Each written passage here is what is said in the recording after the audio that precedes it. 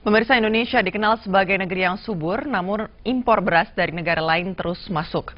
Tahun 2014 lalu Indonesia mengimpor 16 ribu ton beras asal Vietnam.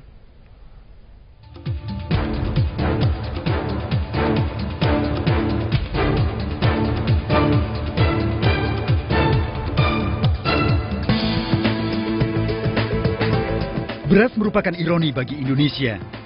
Status Indonesia sebagai negara agraris ternyata tidak sesuai kenyataan. Karena faktanya negeri ini belum mampu sepenuhnya mencukupi kebutuhan beras bagi 250 juta penduduknya. Meski program swasembada beras senantiasa menjadi andalan setiap pemerintahan, faktanya impor barang kebutuhan pokok ini masih mengalir dari negara lain. Fakta itu terungkap pasca dibongkarnya kasus impor beras asal Vietnam pada awal 2014 lalu. Yang menjadi pertanyaan, impor beras banyak 16 ribu ton lebih itu dilengkapi surat persetujuan impor SPI dari Kementerian Perdagangan yang saat itu dipimpin Gita Wirjawan.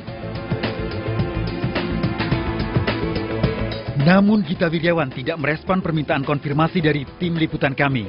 SMS dan panggilan telepon tidak dijawab oleh Gita. Menurut pengamat ekonomi Salamuddin Daeng, impor beras memang dinilai menggiurkan karena keuntungan lebih mudah diraup. Dan impor pangan oleh para importir-importir itu merupakan e, cara yang paling cepat untuk mereka menghasilkan uang.